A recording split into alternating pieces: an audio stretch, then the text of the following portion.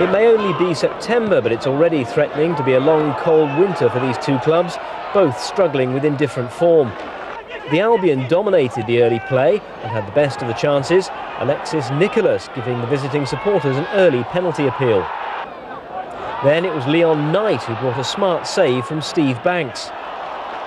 And the Gillingham keeper also had to be on top of his game when Adam Virgo's free kick was deflected by Ian Cox. At last, Gillingham started to come into the game, with John Hills' cross and Iwan Roberts' presence causing a scramble in the Albion rearguard. Knight was proving a lively presence up front for the Albion, and makeshift striker Virgo nearly set him up, Hills' cover arriving just in time. And it was Knight who created the best chance of the first 45 minutes for Dean Hammond. But once again, he couldn't beat Banks. At half-time, one of Brighton's celebrity fans was very happy. I think we're dominating, playing really well. I mean, you know, um, maybe missing a few chances out front, but we're by far the better side. After the break, each side had a golden opportunity to break the deadlock. First, Dean Hammond set up Adam Virgo.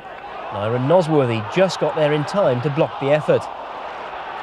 Then, within seconds of coming on as substitute, Mama Sidibe seemed certain to score, but somehow the Albion defence got in his way. Once again, though, the Gills undone by a controversial penalty decision. Chris Hope pulled up for a foul on Leon Knight.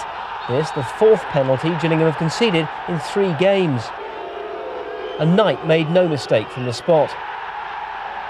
One heart-stopping moment at the end for the Albion, a dangerous free kick, a six-man wall that Darren Byfield blasted over.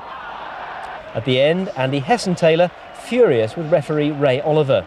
I spoke to the player concerned, Chris Hope, and he believes that you know he made the block challenge on it. And as he's Chris has gone to get up, the fella's just uh, Leon Knight's gone over his over his leg. But I'd like to see on the video. I can't make a comment on that uh, really.